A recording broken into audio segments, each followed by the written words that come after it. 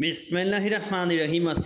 नासरीन। आज जुमा दस नवंबर के रोज़ मुल्क के मुख्तफ इलाकों में गरज चमक तेसमाम और आंधी के साथ मौजूदा मगरबी सिलसिले के जेर असर, मजीद तूफ़ानी बारिशों, बाज़ इलाकों में शदीद ज़ालाबारी पहाड़ी इलाकों में बर्फ़बारी, मुख्तलिफ़ इलाकों में तेज़ ठंडी हवाएँ चलने और खसूस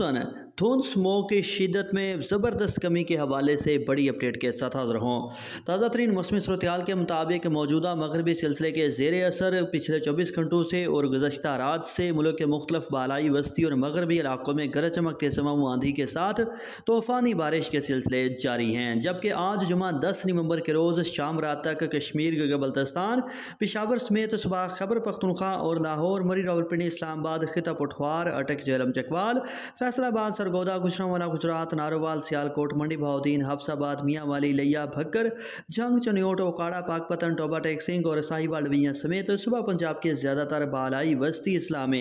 और इसके साथ साथ जनूबी पंजाब सुबह सिंध और बलूचिस्तान के चंद एक इलाकों में भी गरज चमक तेज और आंधी के साथ मजीद तूफ़ानी बारिश का इम्कान। इस दौरान बाज़ इलाकों में खसूस सुबह पंजाब के बालाई वस्ती और बाज़ शुमाली इलाकों में तूफ़ानी हवाओं के साथ पचास मिलीमीटर से ज़्यादा तूफ़ानी बारिश, ओले पड़ने और पहाड़ों पर ज़बरदस्त बर्फबारी का इम्कान, जिसकी वजह से धुंध और स्मोक का मुकम्मल तौर पर खात्मा हो जाएगा। जबकि सिर्फ़ चौबीस घंटों बाद हफ़्ता ग्यारह नवंबर से आने वाले पाँच से छः रोज़ के दौरान मुल्क के ज़्यादातर इलाकों में मौसम साफ़, खुश्क और ठंडा रहेगा।